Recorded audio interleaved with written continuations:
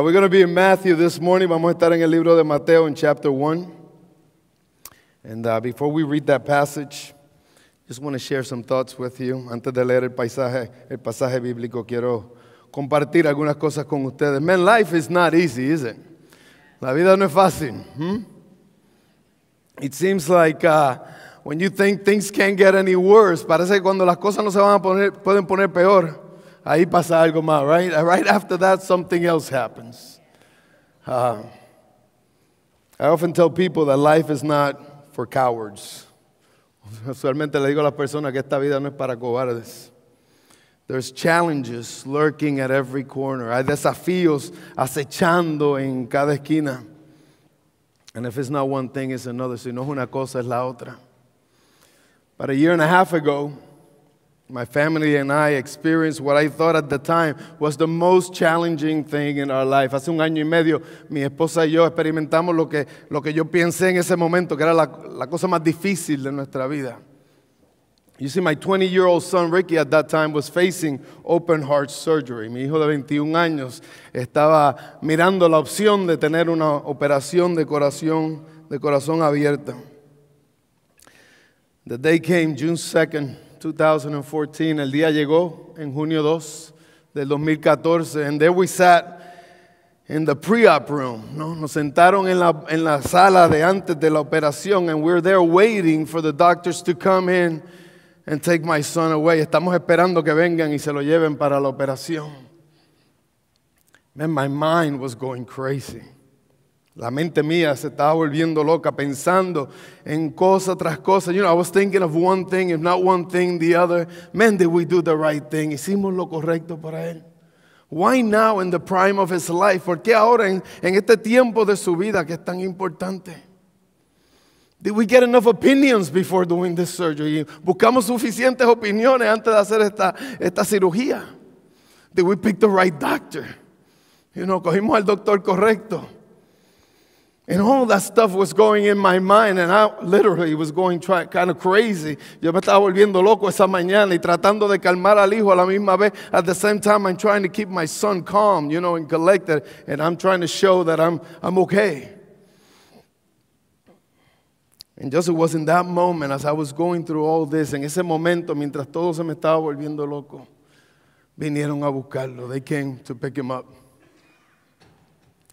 And as they were taking him out of the room, mientras lo estaban sacando del cuarto, you know, I was going kind of crazy. Me estaba volviendo un poquito loco, trying to start to ask some questions. Estaba tratando de hacer algunas preguntas, but there came this lady. She's a nurse. Vino esta muchacha que es una, una nurse. Se me olvidó la palabra, sorry. They, ha- they, they put up with that every Sunday. They have to give me words. Um, but this nurse show up, and she looks at us, and it happened that she was a sister in Christ from this church. Y cuando la enfermera llegó y me miró, resultó que era una enfermera, una hermana de esta iglesia. And Ruthie Thompson looked at us. Ruthie Thompson nos miró, and she said, Don't worry, I will be with him. Y ella nos dijo, no se preocupen, yo estaré con él. Wow. Don't ask me what it was, but the moment I heard those words, a peace came over me. Yo no sé qué fue lo que pasó, pero el momento que yo oí esas palabras, una paz vino sobre mí. And it was like in that moment, God used this beautiful lady to give me that peace that surpasses all understanding through those words. Y no fue como si Dios utilizó a esta hermosa mujer para darme esa paz que sobrepasa todo entendimiento a través de esas palabras. I will forever be grateful for her. I don't know if she's here. No sé si está aquí en esta mañana, pero por siempre le estaré agradecido a ella.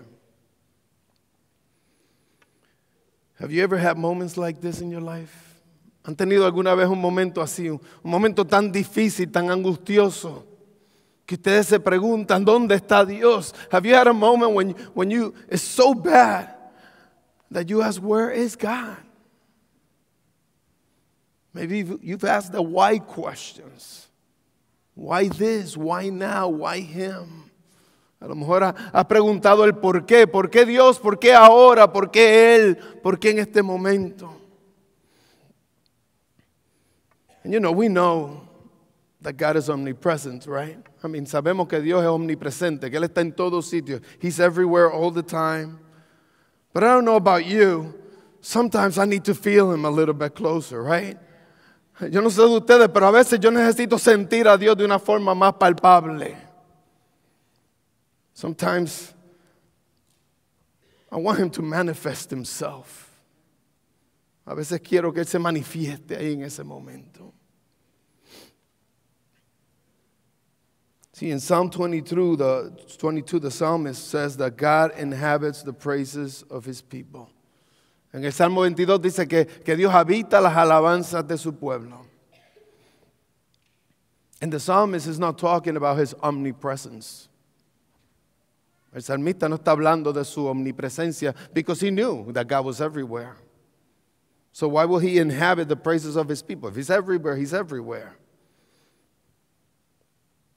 Yo creo que en ese momento el salmista está hablando de una manifestación especial de la presencia de Dios. I believe in that moment the psalmist is talking about a special manifestation of the presence of God. And that's what I want to focus on today. En eso es lo que nos queremos concentrar en esta mañana. You see, just like, like we experience difficulties, just like you experience difficulties, así como todos experimentamos dificultades en nuestra vida, the children of Israel were experiencing difficulties once, many times actually. Los hijos de Israel también estaban experimentando muchas dificultades. If you remember, as they came out of Egypt, they were following God's promise to go to a promised land. Ellos estaban siguiendo cuando salieron de Egipto la promesa que Dios le había dado de ir a una tierra prometida. Él le dijo que iba a ser una tierra de abundancia, de leche y miel. He said it was going to be a land of, of plenty, a land of milk and honey. But yet, when they were in the middle of the desert, cuando estaban en el medio de ese desierto, they were confused. Estaban confundidos. They were questioning and even doubting their own God. Estaban cuestionando y aún dudando de su propio Dios. Pero es en el medio del desierto, es in the midst of that desert, that, the God showed himself present among his people. Fue en el medio de ese desierto que Dios enseñó su presencia, manifestó su presencia en el medio de su gente. Ustedes ven en el Viejo Testamento, in the Old Testament, God's presence was manifested in various ways. En el Viejo Testamento la presencia de Dios se manifestó en varias formas. I'm not going to go through all of them, no vamos a estudiarlas todas, but I want to mention a few of them. Quiero mencionar algunas. We see God's presence manifested in the burning bush, right? Vemos la presencia de Dios manifestada en la zarza ardiente en Exodus 3. You remember that? Moses is walking along. Moisés estaba caminando, and all of a sudden he sees this burning bush. De momento él ve esta zarza ardiendo y no se quemaba. And he goes over to see what it is. And God says, Hey, one second. Take your shoes off. You're on holy ground. Y Dios le dice, espérate un momento, quítate los zapatos porque estás en tierra santa. That was God's manifested presence. Esa fue la presencia de Dios manifestada. We also see him, his presence manifested in the pillar of cloud by day and the pillar of fire by night. ¿Verdad? Vemos también su presencia manifestada en la columna de nube del día y, y la columna de fuego de noche where they were following him. If he moved, they moved. If he stayed, they stayed. Ellos lo seguían, no seguían su nube o su fuego. Si él se movía, ellos se movían. Y si se quedaba, ellos quedaban. But I want to focus on one of them this morning. Quiero enfocarme en una, que es when we see God's presence manifested in the Ark of the Covenant. Es cuando vemos la presencia de Dios manifestada en el arca del pacto. In Exodus 25, 8, it says, and let them make me a sanctuary. Que me hagan un santuario that I may dwell in their midst, para que yo habite entre ellos. I don't know any Hebrew and any Greek, okay? I don't know. No conozco ni griego ni hebreo.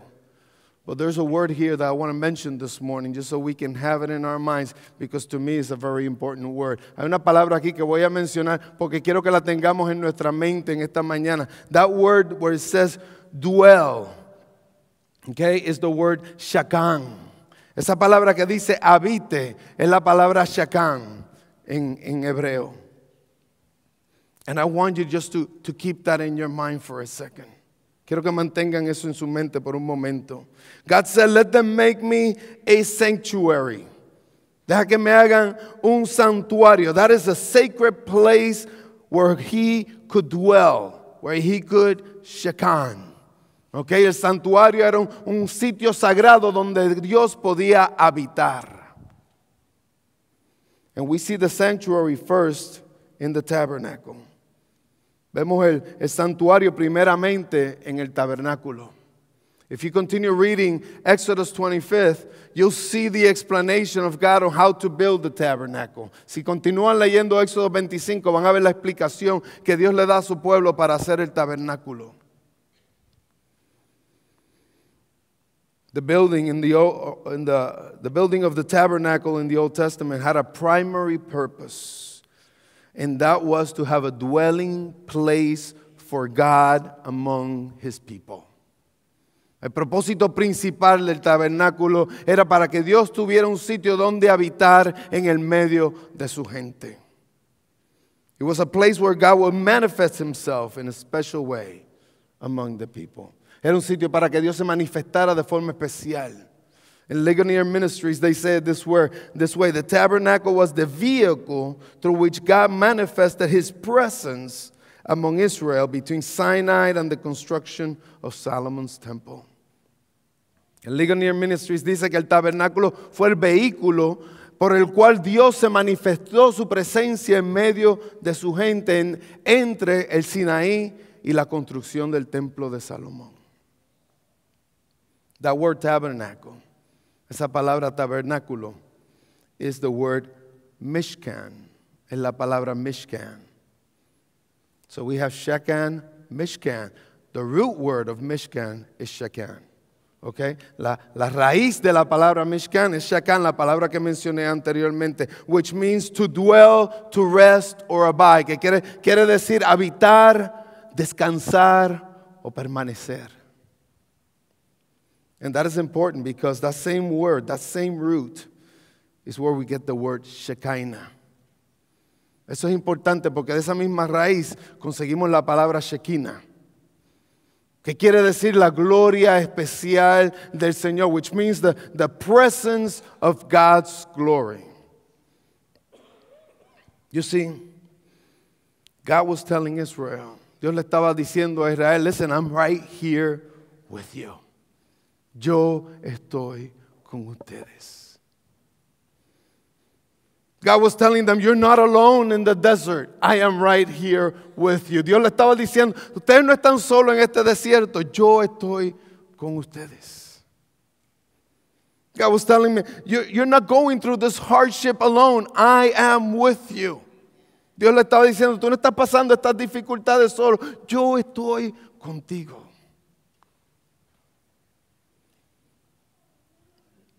See, the tabernacle was the physical representation and a reminder of God's presence in the Israeli camp.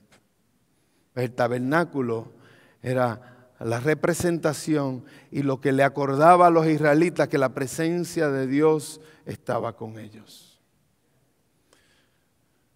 Later on, the sanctuary, we see it in the Temple of Solomon, right? Después lo vemos en el templo de Salomón, vemos el santuario en el templo de Salomón. But as we move towards forward to the New Testament, then we come to today's passage in Matthew 1:23. Al movernos de ahí hacia el Nuevo Testamento, entonces llegamos al pasaje de hoy en Mateo 1:23. In this verse, God uses a name or a title. Dios utiliza un nombre o un título en este verso para expresar la misma promesa, to express. He uses this name or this title to express exact same promise that he had given Israel in the Old Testament.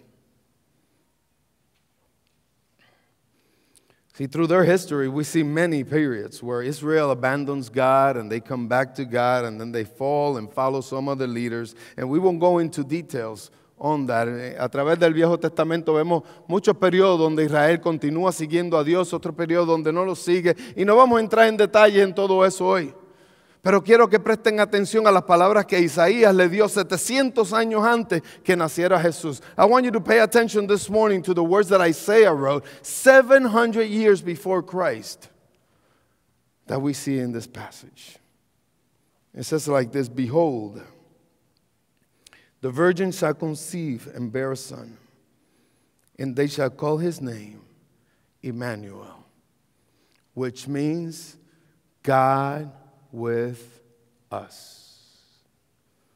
Dice el pasaje aquí, la Virgen concebirá y dará un hijo y le pondrá por nombre Emanuel, que traducido significa Dios con nosotros. See, we all know what Matthew is referring to in this passage, right? Todos conocemos lo que Mateo se está refiriendo. He was actually telling or narrating the story and the conversation between the angel and Joseph. Remember that? Él está narrando, el ángel está narrando la, la, la conversación que tuvo un ángel con José. See, Joseph was getting ready to marry Mary, right? Actually, they were legally married already. And he was getting ready to divorce her. Why? Because she was pregnant. El ángel está hablando con José porque José está, está, eh, dispuesto a divorciar a Mary porque ella estaba encinta. And you know, she came back with a good story. Hey, man, I'm pregnant, but it's from the Holy Spirit. You know, ella le dio una buena historia. Mira, estoy encinta, pero no te preocupes, del Espíritu Santo. That makes sense. I would have believed it. Yeah, right. Nadie creería eso, ¿verdad? So Joseph, we can't believe it. Joseph couldn't believe it either. José no podía creerlo. Él, yeah. ¿Estás preñado? Ok. Vamos a ver cómo nos divorciamos. Let's see how we can get divorced, honey. And I won't, I won't bother you, but. And Pastor Brian mentioned this, he, he read this passage last week. Pastor Brian leyó este pasaje la semana pasada, pero the, the angel tells Joseph, listen, her baby's a special baby. El ángel le dice a José, mira, vas a tener un bebé especial. Este bebé, este bebé no es un bebé cualquiera. Él viene a redimir a su pueblo. He said, this is not just any child. He is coming to redeem his people. See, Matthew 1:21, here's the angel saying, she will bear a son, and you should call his name Jesus, for he will save his people from their sin. El ángel le dice, y dará a luz un hijo y le pondrás por nombre Jesús, porque él salvará a su pueblo de sus pecados. See, Jesus, Jesus was coming to save us all from our sins. Jesús vino a salvarnos a todos de nuestro pecado. Él vino a salvarte a ti y a salvarme a mí. He came to save you. He came to save me from my sins. But it's interesting that, that in the passage, Matthew adds another characteristic of, of Jesus. He came as a redeemer. Jesús vino como un redentor, pero entonces Mateo añade otra característica de Jesús. He also comes as Emmanuel. He doesn't just come as the Redeemer, he also comes as Emmanuel. Él no solamente viene como redentor, pero viene como Emanuel también. Viene como Emanuel. See, God's presence in the New Testament was manifested in Christ. Eh, la, pre la, presencia manifestada de Dios en el Nuevo Testamento fue manifestada en Jesús, en el Cristo. John 1:14 says, "And the Word became flesh and dwelt." Remember the word? You remember the word? Dice, el verbo se hizo carne y habitó. ¿Se acuerdan de la palabra? Habitó. He dwelt. He made his tabernacle between, in, uh, within us. It says, And the Word became flesh and dwelt among us, and we have seen his glory, glory as of the only Son of the, from the Father, full of grace and truth. Dice, el verbo se hizo carne y habitó entre nosotros y vimos su gloria como del unigénito del Padre lleno de gracia y verdad. See, if you remember the word, Jesus, Jesus was born to be the Shekinah. Sí, Jesús nació para ser la Shekinah. Tú él nació para ser el tabernáculo. He was born to be the tabernacle of God. See, he was born to be the physical representation of God's glory. Él nació para ser la representación física de la gloria de Dios. See, in Jesus we have a person who can relate to us. En Jesús tenemos una persona que se puede relacionar con nosotros. We have a person that actually we can relate to. Tenemos una persona en la cual nos podemos relacionar también. We have a person who can understand us. Tenemos una persona que nos puede entender.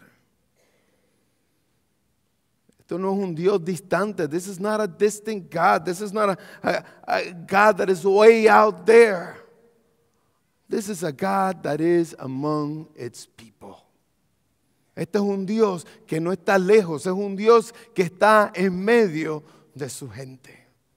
Él está con nosotros. He is God with us. Eugene Peterson's The Message says it this way. The world the word became flesh and blood and moved into the neighborhood.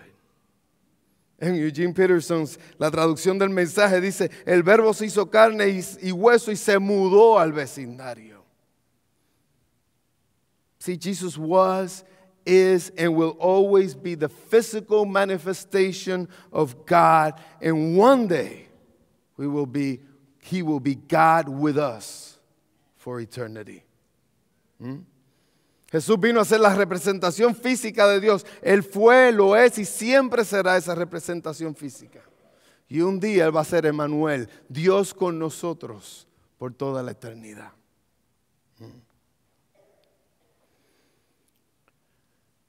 Therefore, God always gave Israel a manifestation of His presence.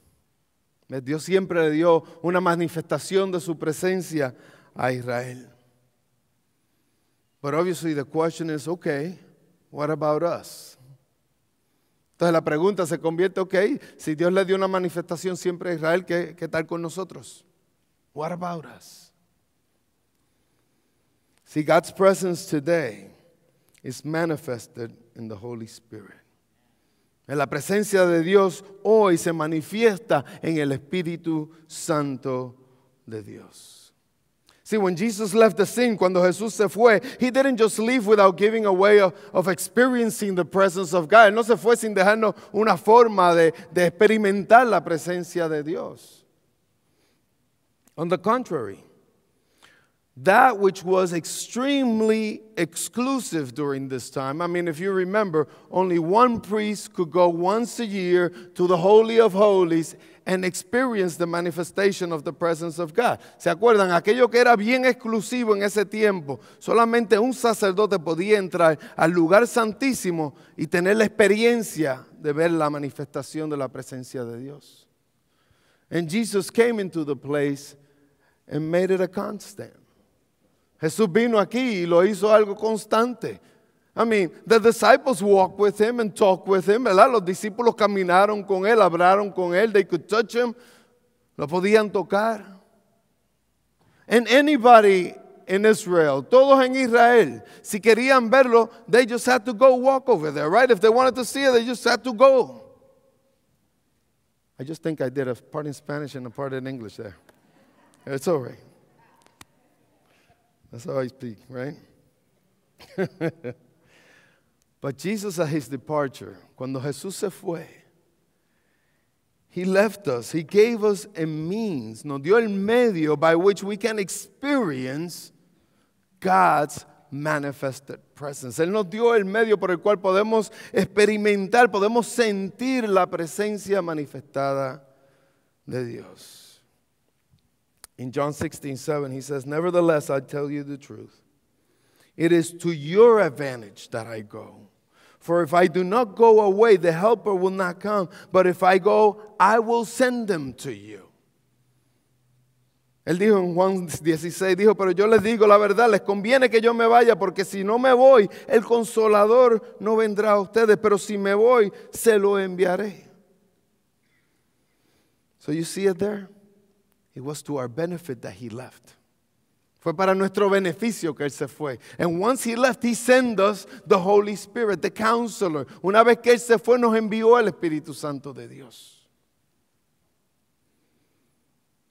1 Corinthians 3:16 says this. Do you not know that you are God's temple? And that God's spirit dwells remember the word in you? If anyone destroys God's temple, God will destroy him, for God's temple is holy and you are that temple. ¿No saben que ustedes que son el templo de Dios y que el Espíritu Santo de Dios habita, ¿se acuerdan la palabra? Habita en ustedes. Dice, si alguno destruye el templo de Dios, Dios lo destruirá a él, porque el templo de Dios es santo y eso es lo que ustedes son. See that word temple there? Esa palabra templo es the word sanctuary, la palabra santuario which is the part of the temple where God Himself resides. Okay, la parte del templo donde Dios habita. So, see, in the tabernacle and in Solomon's temple, this was called the Holy of Holies. En el tabernáculo y en el, y en el templo de Salomón se le llamaba el lugar santísimo. Today, the manifested presence of God is in each and every one of, the, of those of us who call ourselves followers of Jesus Christ. Tú ves hoy la presencia manifestada de Dios está en cada uno de nosotros que nos llamamos hijos de Dios. God is in each and every one of us. Dios está en cada uno de nosotros. That is huge. I mean, just think about it for a minute. You are the temple of God. Somos el templo de Dios. So he can shekan in us. Did you get that? So if you're in distress this morning, si estás angustiado en esta mañana, don't worry. God is with you. No te preocupes, Dios está contigo. If you're facing difficulties, don't fear. Si estás, enfrentando dificultades, no te preocupes, no tengas miedo, no temas, porque Dios, God, is with you. Dios está con nosotros. Are you facing a tough decision today? ¿Estás enfrentando alguna decisión difícil? Dios está contigo. God is with you. See, Christmas, Christmas time is a time of the year where many people feel alone. Durante este tiempo navideño, mucha gente se siente sola. Are you feeling lonely today? ¿Te sientes solo hoy? Listen, God is with you. Dios está contigo. Whatever your situation this morning, just remember and trust that God is with you. Cualquiera que sea tu situación, recuérdate y confía que Dios está contigo. I know sometimes we go, but where are you, God? Listen, I've been asking that a lot for some reason. Know, a veces nos preguntamos, ¿verdad? ¿Dónde estás, Dios? No te siento, no te veo. Por alguna razón u otra, últimamente me lo he preguntado varias veces. But we, don't have to fear because God is our Emmanuel. He is with us. Dios es nuestro Emanuel y Él está con nosotros. Les voy a pedir que se pongan de pie. Would you please stand? I'm going to ask the, the group to come up. Si los muchachos de la banda pueden venir. Are you feeling lonely today? ¿Te sientes sola hoy? Are you stressed out? ¿Estás un poquito estresado en este tiempo? Are you desperate? ¿Te sientes desesperado en este tiempo? Did you hear maybe some bad news this week? A lo mejor escuchaste malas noticias esta semana. Maybe you have to make a tough decision this week. A lo mejor tienes que tomar una decisión difícil esta semana.